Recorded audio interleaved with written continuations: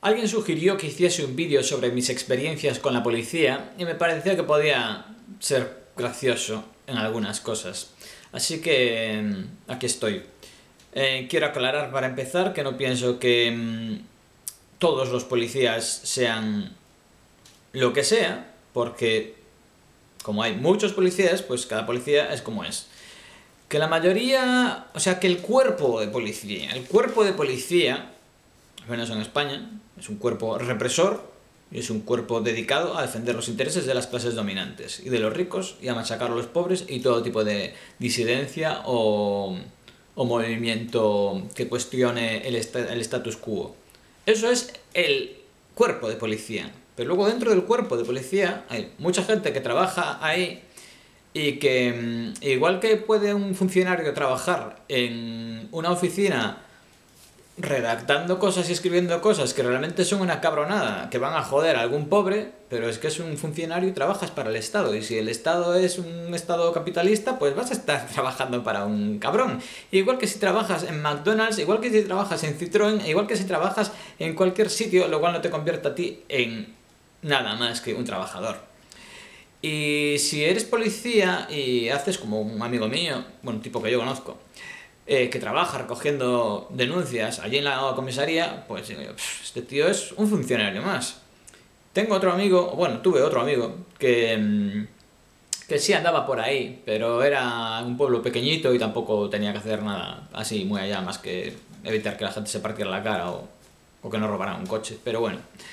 Em, pero de ese tipo y del otro, yo, vamos, tengo casi la certeza de que esos tipos le mandan pegar a alguien así de forma totalmente innecesaria o evitable y, desacatan la, orden y dejan, pierden su puesto de trabajo. Entonces, em, dicho eso, la mayoría de los policías, guardias civiles y militares, creo que no hace falta yo que diga qué son. Basta con entrar en los grupos de Flickr o de Facebook o de WhatsApp o foros o lo que sea de la Policía Nacional y de la Guardia Civil y así y echarse a temblar. Que luego hay manifas con ultraderechistas y no sorprende porque a los, a los ultraderechistas no les meten tan duro como a los rojos o a los catalanes o a quien sea, ¿sabes? Bueno, nada. Em, que viva España, dicen, ¿eh? Mm, bueno, yo las primeras experiencias que tuve con la policía fue en manifas cuando yo era pequeño, que mis padres yo creo que tenían una mala idea en llevarme a manifestaciones, porque mm, una, porque es mucho tumulto y el niño ahí puede asustarse un poco, y otra porque, mm, a ver, eso que protestas tú lo opinas tú. Yo soy un niño y yo eso todavía no estoy de acuerdo porque no tengo ni idea de qué quiere decir, ¿sabes? Entonces, mm, no sé yo si es muy sensato y muy, muy respetuoso el llevar a a un niño a una manifestación. Pero bueno, nada, que ahí estaba yo, que me preocupaban más los que nos pegaban que los que me llevaban allí, la verdad. Pero bueno, nada, veía a la policía pegar hostias y así, y era muy feo. Y yo sabía que habían torturado a, a gente que conocía yo. Y. Y bueno, tuve bastante claro el, el papel de la policía y la Guardia Civil respecto a las torturas en este país. Eh, problema, o sea... A mí nunca me paró y me hizo nada la policía hasta que con 16 años yo ya tenía una cresta o algo así, pasé por Burgos y ahí me pararon y me cachearon y me pidieron el, el DNI por tener cresta, porque había allí un montón de gente en la estación de buses y iban solo a por mí. Mm. una vez me pararon una vez estaba en Coruña y eh, habíamos robado en un supermercado comida un amigo y yo. Y salimos y alguien llamó a la policía, no sé muy bien por qué. Y... Mm, o no, igual no llamaron a la policía. Igual estaban por allí y se dio la casualidad. Yo me acuerdo que estaba guardando las cosas y dije al otro cuidado. Y venía la Policía Nacional hacia, hacia arriba y nos vio allí. Y como teníamos pintas, nos... Bueno, nos dijeron que qué hacíamos allí, nos piden la identificación, no sé qué. Al final nos dicen, bueno, y moviéndose, yo, pero ¿qué dices el tío? Moviéndose, que la gente desconfía. La gente desconfía. A las 6 de la tarde, ahí en el centro de Coruña, desconfía de que gilipollas. O sea, te pierdes por no ponerte ahí a discutir con él, pero vamos. Em, mm, ¿Qué pasa? ¿Me voy a ir ya a Inglaterra de cabeza? Bueno, luego si hace falta vuelvo aquí. Em, en Inglaterra pasaron cosas muy graciosas. Ah, no, en Vigo. En Vigo no, en Galicia. En Galicia también. Una vez estaba ocupando yo una casa y estaba bastante desesperado. Tenía 17 años, no había nadie que necesitara ocupar. Estaba ocupando yo solo, eso con depresión y con ansiedad, sin medicación y un poco de cacao mental. Me acuerdo que vino madera, bueno, vinieron dos a desalojarme. Y la casa era una completa mierda. Me estaba hecha polvísimo, había un gato muerto allí, que el primer día dije, bueno, a ver si el segundo día cojo ánimo y lo quito de allí. Y, pero bueno, dormí allí con el gato muerto ahí un poco alejado. Y por la mañana, hacia el mediodía, vinieron unos maderos y, y, me dijeron que la casa estaba declarada en ruinas, que no me podía quedar allí. Y ya, es que no tengo dónde ir, tal y cual, y entra uno ahí. Era majo, ¿eh? Y me dice, es, es que yo no te puedo dejar quedarte aquí, no sé qué, hace plosh. me una patada en una pared, ¡brum! ya se va a media pared. Y yo, ya... Y me sacó muy de buenas, la verdad, muy al contrario de lo que he visto en muchos otros desalojos en los que han partido bien la cara a colegas míos y a quienes han encerrado luego en comisaría de muy malas maneras y a hostias y con humillaciones y todo tipo de cosas. O sea que yo, mucha suerte con la policía en general, ¿eh?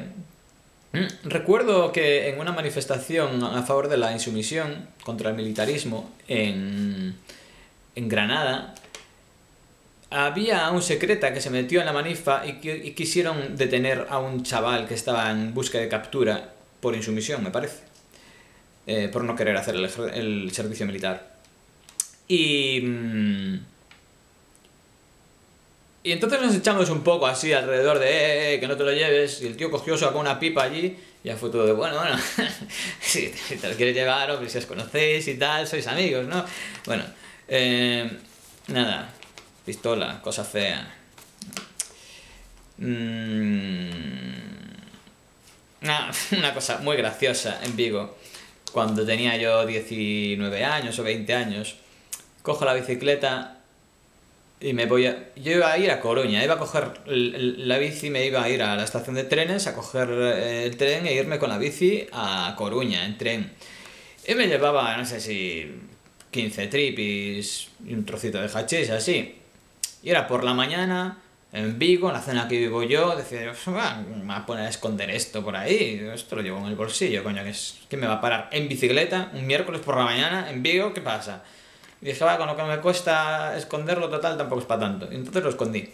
Y iba subiendo una cuestecita, adelanto a un yonki y que iba andando. Y viene un coche de policía así de frente y yo, vaya por Dios. Para el policía pensando que yo venía de pillarle al yonki, que encima venía con mil pesetas en la mano, tenía toda la pinta de que venía de comprarle caballo. Y el madero, venga, enséñame la papela.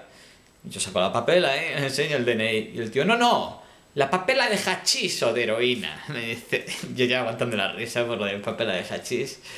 Y yo, pero yo no tengo nada de eso. Venga, que sí, que sé que llevas otra vez encima. Venga, dime, no sé qué. Yo, que no tengo nada. Y el tío me cachea, no encuentra nada. Al otro le dice, ven para aquí, que a ti te conozco y también empieza a dar la vara al yonki. Y, y el tío me insiste y le, digo yo, yo, yo si tuviera algo te lo daría, pero ¿no ves que yo no puedo tomar drogas? ¿No ves que yo soy deportista? Hago así, le enseño la bici, el tío, bueno, venga, vete. Ahí lo, los convencí, eh, tú cómprate una bici y hazte narco y ya está. Em, eh, em, inspector Ahí, bien dedicado. Em, ocupando al principio en Londres. Una vez fuimos a, a, ocupar una casa y entramos y, yo oigo un bip y digo, uy, uy, uy, y digo, vámonos de aquí. Dicen, no, eso fue un nick de estos contra el, contra el suelo de algún calzado. Yo oigo otra vez bip y pero otra vez veo una luz roja y digo yo, vámonos de aquí. Salimos por la ventana, dejamos la pata de cabra debajo de un coche, andamos unos pocos metros y ya coche, coche, coche, y ya salimos a la calle principal y coche, coche, coche, coche. Allí, o sea, Londres es una pasada. Pasa cualquier movida y tienes a la policía allí ya. Es lo más efectivo que he visto en mi vida. Y no teníamos un coche, teníamos Teníamos como cuatro coches normales y dos de secreta o tres de secreta, algo así.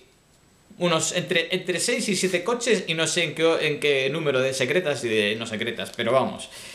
Y nos preguntan, ¿qué? ¿De dónde venís? Nada, de casa de unos amigos. Veníamos con los sacos, las esterillas. Veníamos de casa de unos amigos. ¿Y dónde vais? A casa de otros amigos. Vamos a dormir allí. Ah. Y... Mm, era curioso porque era evidente que veníamos de la calle donde había sonado eso, que veníamos con cosas para dormir, que mm, llevábamos cosas para dormir, que en una casa vacía, con lo cual muy probable que les fuéramos a ocupar. Eh, pero en Inglaterra, si no tienen pruebas, es poco común que te condenen. En eso sí que son bastante así, o al menos eran. Em, tú robabas en un supermercado y de alguna manera no se podía demostrar seguro que tú habías robado y no te hacían nada. Eh, y, y, y, con las casas ocupando, tú entras, reventas la puerta, cuando viene la policía le dices, no, no, la puerta estaba abierta. Y como no pueden demostrar lo contrario, pues, pues no te pueden hacer nada. Es curioso. ¿Qué coño estaba diciendo yo al principio? Ah, sí, nada, le dijimos que veníamos, que vamos para allá, no nos hicieron absolutamente nada, nos pidieron los nombres. Allí además, como no tienes que llevar documento nacional de identidad, mm, le das el nombre que te dé la puñetera gana. Manuel Martínez, Antonio Gutiérrez, José Luis Perales, lo que quieras. A mí cada vez que me paraban, cada vez que me detenían, me, me pillaban en el metro o en el... me pillaban en el tren más bien, y me ponían una multa o me, me, paraban en manifas o lo que sea, yo daba un nombre distinto. Alucino con ese país, la verdad. Cámaras por todos los lados, se tienen filmado de arriba abajo y, no saben si te llamas Antonio o, Pedro. Eh...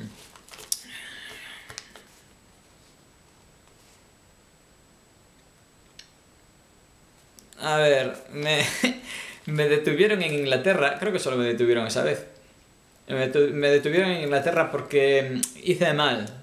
Yo robaba mucha comida por la cuenta que me traía. Y. Mm, y en un supermercado. O sea, yo, yo mi, mi, mi, mi modus operandi era: yo no robo nada o no me llevo nada si no tengo clarísimo que no me han visto. Y entonces a la más mínima duda yo dejaba todo y me largaba. Y una vez no hice eso y me pillaron. Y, y fue gracioso porque llegaron allí, yo me llamaba... No me acuerdo cómo. Luego mm, me preguntaron dónde, qué edad tenía y en qué año había nacido y me armé un lío que te cagas y los tíos, a ver, a ver. Y yo, es que se me dan fatal los números en inglés. y Nada, me detuvieron allí, eh, en la, me llevaron a la comisaría. En la comisaría el policía le llega allí y le dice al comisario, dice al otro, ¿de dónde es? Este es español. Pero habla muy bien inglés. Ahí como, pero español que habla bien inglés. ya me empecé a reír un poco. Eh, tuve la suerte de que el nombre que había dado unos días atrás en una eh, multa de tren por ir sin ticket coincidía con el nombre que les había dado, con lo cual cuando contaron la, el ticket de la, la multa del ticket, el ticket de multa, la multa del el, resguardo de la multa del tren, eh, eh, pues coincidió y dije yo, uff, que me había dado la misma dirección, todo igual. Eh, me metieron detenido en una mm, en una celda yo solo me metieron allí con mi mochila con todas las cosas que había robado en otros sitios, con mis boletines y fanzines que llevaba allí, con mi Walkman. Y allí estaba yo, detenido, escuchando música y leyendo ahí moviditas mientras me comía las cosas que había robado en otros sitios. O sea, yo ya me había olvidado por completo de que estaba detenido. Y Llegó un momento que dije, yo cago aquí, ya me levanté, me voy a la puerta, llego a la puerta.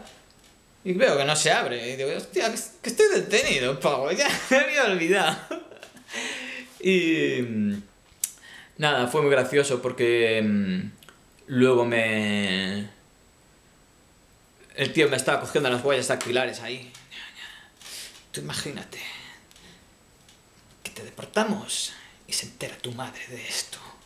Y yo, no, no, no, mi madre no. Y se enterara. Eh, lo malo que sería, no sé qué. yo sí debería haber estado, porque yo vendía el Big Issue, que es como la farola, un rollo que vende la gente sin techo.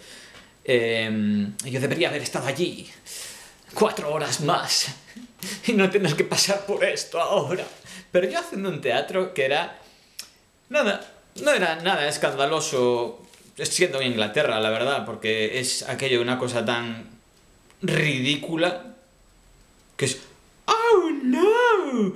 ¡That's terrible! Porque has pedido, perdido 5 duros, que puedes hacer el payaso todo lo que quieras y estarte riendo del tío en su cara, pues que parece que no se da cuenta. Cuando me fueron a soltar, el comisario me dijo, mm, la próxima vez que quieras robar, te vas a tu país. Me dijo. Y también me dijo, en plan peli de vaqueros, y no vuelvas por Enfield.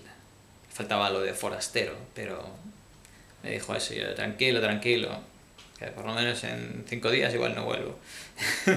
El fin de la rave, una vez me vinieron allá a cachear, me preguntaron si tenía drogas, les dije que llegaban demasiado tarde.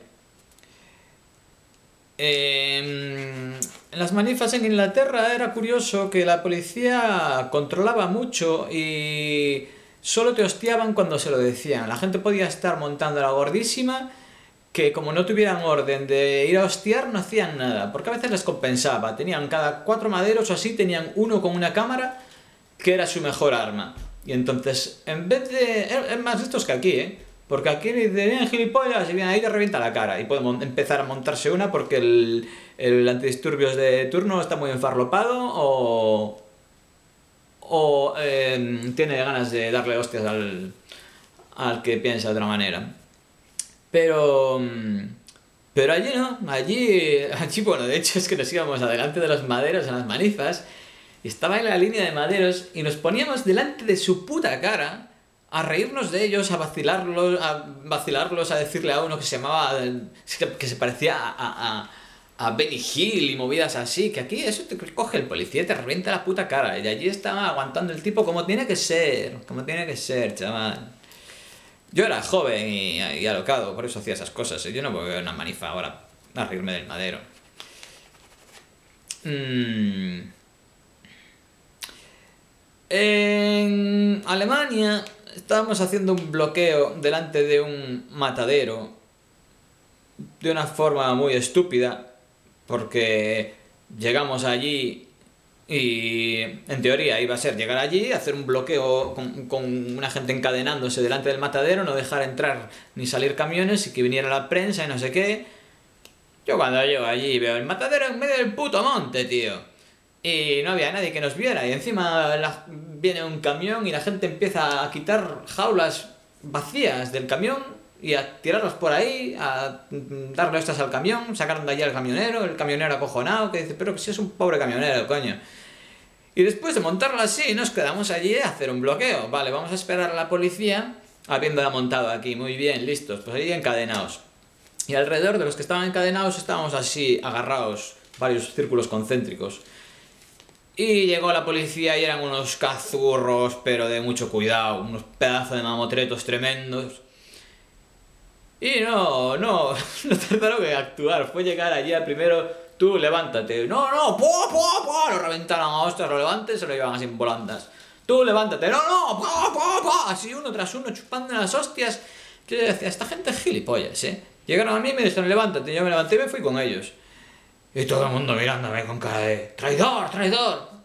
Y yo, ¿qué pasa? Que después de acabar, igual que tú, en aquella furgoneta, pero ellos en la cara partida y tú con la cara partida. Y a ellos les ha llevado Mm, un segundo levantarme y te ha llevado un segundo levantarte a ti. La gente que es así de mártir. Em, bueno, y luego más todavía cuando estábamos en el furgón y... y al policía se le cayó de una mesita que tenía el pasaporte, no sé, de alguien, de, no sé si era el mío o el de otra persona. Y yo, yo por instinto me agaché y lo recogí y se lo puse en la mesa, no por decir colaboro con el policía. Pero todos me vieron así en plan, el, colmo, tío. Se ha agachado a darle el, el, pasaporte. Así fracasa la revolución, tío. Así fracasa la revolución. Ahí está. El 18 de junio de 1999 en Londres se celebró el Día Internacional contra el Capitalismo y la Globalización y se montó una gordísima. Vi como la policía atropellaba a lo bestia a una tía y le pasó con la rueda delante por encima de la cadera y la rueda de atrás por encima de la cabeza. Eh, nos habían... No creían que la manifestación fuera a llegar al centro, estaban intentando impedirlo. Y y se les fue un poco de la mano las cosas. Y unos maderos estaban ahí muy preocupados porque estábamos bastantes encima de la furgoneta reventándolo todo y los tíos estaban ahí con una cara de miedo de que estos nos van a matar y... Si te íbamos a matar, yo... Pero no, sacaron spray de este, de pimienta y, y nos pimientearon. Y salieron por patas estos, y no sé si otros también fueron los que atropellaron a la tía esta, pero bueno. Em, chuparon muchas hostias esos maderos, no estaban nada preparados para semejante cosa y tenían ahí unos escudos de mierda que se rompían con los adoquines y... Mm,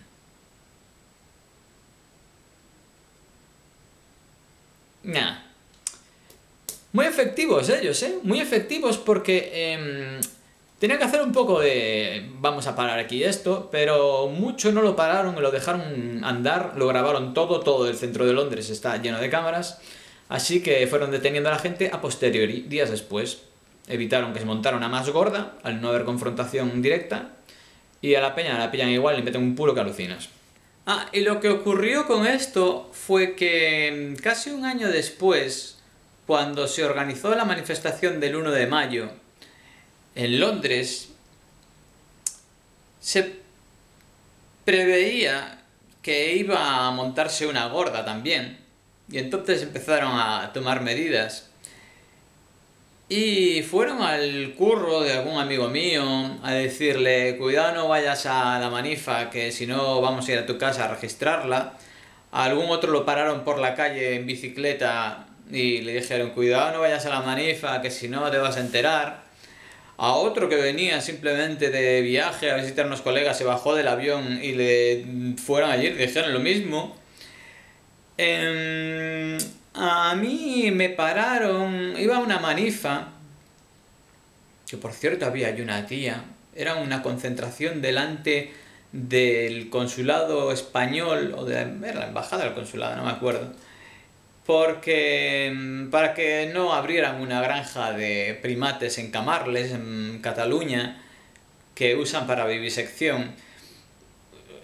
El movimiento animalista en Inglaterra en general deja mucho que desear y hace mucho esto de hacer campañas contra un centro de explotación o de cría de animales para, para experimentos o para lo que sea. Y están ahí, dale que te pega hasta que lo cierran y entonces, vale, cerrado esto, ¿y qué? El número de animales usados en experimentos no ha bajado y puedes ver datos de hace años y ver datos actuales y ver datos a posteriori y no ha bajado y has estado mm, tirando recursos y tiempo de gente haciendo campañas para conseguir que cierren la granja de Shamrock de primates y que la abran en Camarles. Muy bien. Y, y bueno, pues en este caso estábamos allí. Y primero yo estaba llegando allí, me pararon los policías, me, me registraron, cogieron todos los nombres de mi lista de teléfonos y anotaron todos, me dijeron que, mm, que cómo me llamaba, les di nombre falso, me me dijeron que si había estado en la manifestación del 18 de junio y como me habían visto allí, o igual ya me dijeron que me habían visto allí, me dijeron, no fue nada agradable recibir botellazos y adoquines y tal. Y yo sí, la verdad es que hay gente que hace cada cosa. Y me dijeron, ¿vas a ir a la mani del primero de mayo? Y yo, en principio, sí, pues cuidado, ¿eh? Em, llegué al consulado y me vino una tía española que yo no conocía de absolutamente nada y me viene, ah, hola, ¿qué tal? No sé qué. Yo, no te conozco. Sí, hombre, que, que nos vimos a la mani del 18 de junio, que te vi como loco tirando piedras a la policía. Y yo, a ti no te conozco de nada. Y, yo además, ese, ese, día yo estaba cubierto de arriba abajo, menos el principio al principísimo. No me pudo haber visto. Y me dice, sí, tú tienes un nombre con muchas O's. Yo, no te conozco de nada. Resulta que la tipa esa era la pareja de un tío inglés que era famoso por hacer cazurro también y había estado en la cárcel. Pero era un tío para mí muy sospechoso, porque era de estos que entran y salen en la cárcel y que se pasan poquito tiempo en la cárcel, con lo cual puede ser un secreta perfectamente, que mmm, queda con pocas sospechas porque ha estado en la cárcel. Entonces es, ¿cómo va a estar en la cárcel un secreta? Pues un poquito del tiempo, igual sí. Eh, si se ha comido 5 años de talego, pues es menos probable que sea un secreta. Pero este tío quedaba libre de sospecha para mucha gente por eso, y sin embargo hacía cosas que a mí me resultaban muy extrañas, la verdad. Pero bueno. y esta tía andaba con él. Esta tía estaba secreta que no veas. Me acuerdo también que veníamos de un, de un gathering en, en Alemania, creo. Y me dice y me dice, ¿qué, ¿qué sabes del Frente de Liberación Animal en España? ¿Cómo están yendo las cosas y tal? Yo no tengo ni puta idea. Y también una vez en Holanda me preguntó si conseguía, dónde podía conseguir drogas y dije que no sabía, que, que la puede, o sea, le dije, puedes comprarla en cualquier, en cualquier, ¿cómo se llama? Sitio de estos que venden marihuana en, en, en ese país. Y me dijo, no, no, pero otro tipo de drogas. Y dije, no tengo ni puta idea. Pero la tía sí, muy así. Bueno, pues eh, después de eso, de allí a unos días, yo fui a firmar a la oficina del paro. Y yo creo que los tíos sabían que yo no les había dado nombre de verdadero. Y entonces me estuvieron siguiendo. Y me entré en una cabina telefónica a poner un cartel de una manifestación y lo pegué así con celo y al salir me viene un tío, un secreta, me saca así la placa y me dice, ven aquí, no sé qué, te voy a meter un puro por fly posting. Yo, pero vamos a ver, por Dios, que estaba con, con celo, nada, te voy a meter un puro por fly posting, me empieza a cachear, eh, viene otro secreta que andaba con él y viene otra secreta y para hacerme saber que me estaban siguiendo y que no simplemente me habían visto allí, me dice la tía, anda, el otro día viniste desde Candem en bicicleta, desde, desde la manifestación del zoo. Viniste hasta aquí en bicicleta, vaya tute, ¿eh? Y yo, bueno, bueno. Y me cachean, me sacan unas pegatinas de lo del primero de mayo y me dicen, está Hackney todo lleno de esta puta mierda. Y yo, sí, es que hay gente que pega las cosas por ahí en cualquier lado, la verdad. Y me dijo, mira, te voy a detener por fly posting o te puedo hacer un... Ah, porque me dijo, me voy a quedar con todo esto. Y le dije, eso no puedes hacerlo. Y me dijo, pues mira, me quedo con todo esto y te hago simplemente un police report o te llevo detenido por fly posting. Y yo, bueno, ah, llévate todo eso. Y me dijeron, y recuerda que no hay solo policías de uniforme en las calles. También me dijeron que cuidadito, que como fue la manifestación esta, del 1 de mayo, iban a venir a mi casa a registrarla. Y claro, que te cagas, que te esté siguiendo la madera por la puta calle. y yo hacía algunas cosas que, bueno, pues ya ahí... en el fondo me vino bien, porque dejé de hacer cosas mm, que en realidad son muy contraproducentes porque, eh, porque estaba muy controlado y no podía hacerlas. Y al dejar de hacerlas fue cuando dije yo, son gilipollas. Estas cosas son muy contraproducentes. Entonces, bueno, gracias a estos secretas por amenazarme y, todo eso y por quedarse con mis pegatinas del primero de mayo. Eh, con la policía también em, es curioso en Londres pasa mucho en España, pero yo al estar en Londres como inmigrante pobre, pues ves estas cosas más directamente.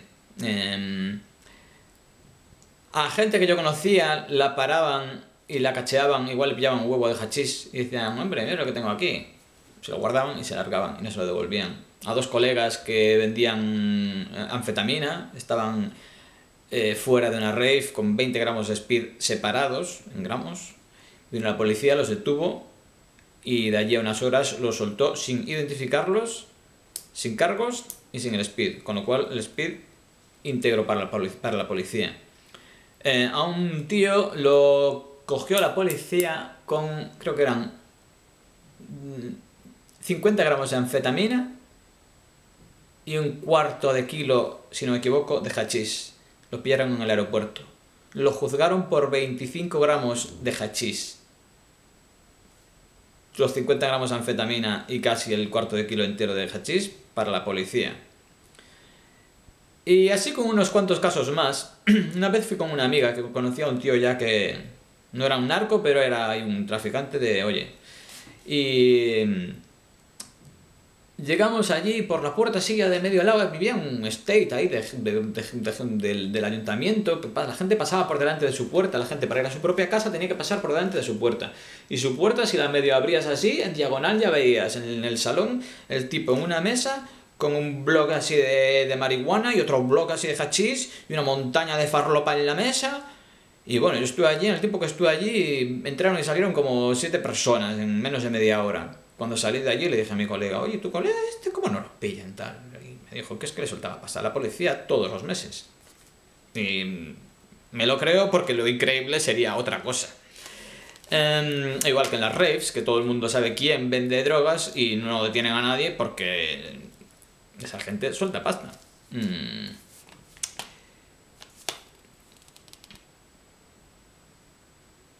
Bueno, y para terminar y dejar bien a la policía, voy a hablar de la historia del madero más enrollado del puto universo. Bueno, no consigo atravesar esto con lo, con, lo eh, catártico, catártico, catártico, catar, catar, es catártico, catarsis, catártico, con lo catártico que me iba a quedar. ¡Ah!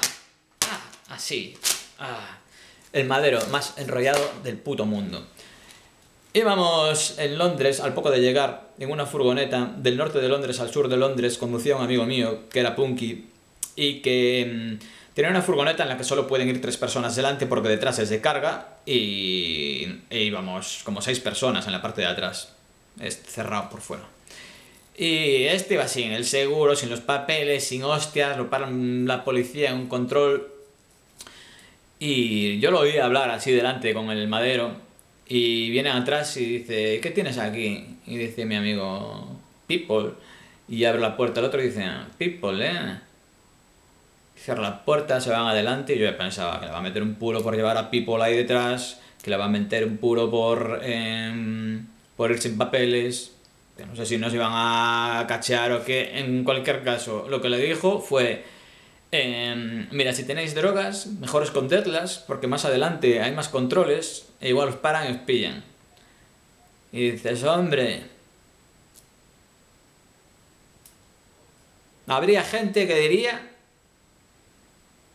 que eres más enrollado por no ser blanco. Pero no seré yo. Y que lo digas imbécil. Nada, la policía, eh, un, un colectivo de lo más variado. No, no, de lo más variado no. En el que hay mucho de una cosa y poco de otra.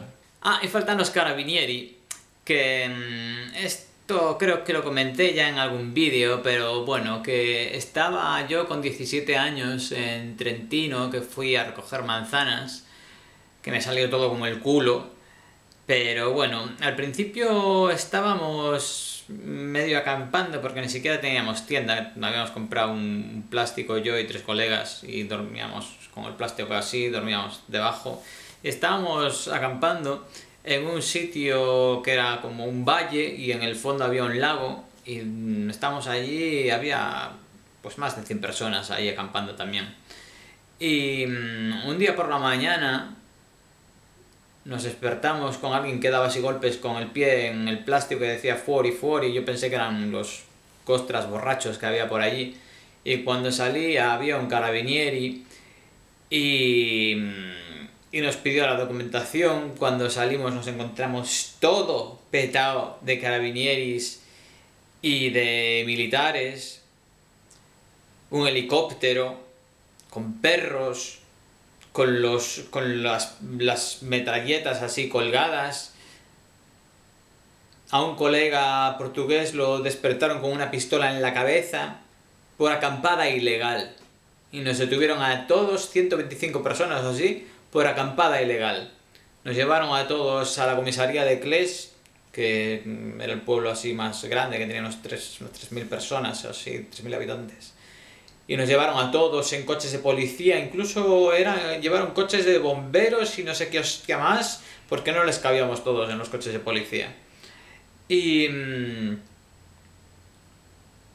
Y nos tuvieron fuera de la comisaría, las tías las llevaron antes para adentro, las desvistieron, a los tíos no nos desvistieron había un tío que llevaron a algún sitio allí y gritaba mucho, así que algo le estaban haciendo. Em, a mí me quisieron hacer firmar un papel que te inculpaba en el tema de la campa de legal, no sé si algo más, pero ya nos había comentado algún italiano que eso no lo firmáramos, que dijéramos que no entendíamos y ya está. Entonces me lo dieron allí, no tenía ningún traductor y yo, yo no encapisco. Y me decían, firme, firme, y yo que no capisco, al final me, me iba a ir y me viene un carabinieri más alto que la hostia y me pone, me da una escoba y me dice, venga, Barry, aquí el sueli. Y yo, Barry, ¿cómo que Barry? Si yo no, no he fatto niente, que no he hecho nada, chaval. Y, y me agarra por la solapa así. Solapa, se llama solapa cuando, no, cuando tienes así un chándal. Bueno, pues me agarra por aquí y me dice que Barry no me rompe coglioni. Y yo, tranqui, tranqui, que Barry lo que quiere. Y agarré la Scooby y empecé a hacer así y me dice el tío, venga, afuera. O sea, era un, solo, un rollo de, de someterme y, y humillarme. Que para mí te estás humillando, tú eres un puto subnormal. Pero para él me había humillado yo porque había corrido, agarrado una, una escoba ante la amenaza de un tipo dos veces más grande que yo y que encima es policía pues ya ves, qué humillación. Pero había que tener mucho cuidado con ellos. Yo por suerte, yo creo que nunca chupé una hostia de un policía. Me pasaron rozando, eso sí, alguna vez. Pero yo he tenido mucha suerte, la verdad. Y bueno, todo esto era de cuando yo era joven. Joder, mira que decir que yo era joven, tío. Yo que me siento tan... Yo me siento como, como con 20 años y tengo 42 y no me entra en la cabeza, no acabo de entenderlo. Y todo esto era eso, eh, a finales de los 90, principios de los 2000 y ni eso, creo que era finales de los 90, el 90% de las cosas que he dicho era finales de los 90. Porque era como era el 90%, ¿sabes? y nada, eso. Que mm, un saludo que estés bien y que cuidado con la policía, que a veces... A veces tela.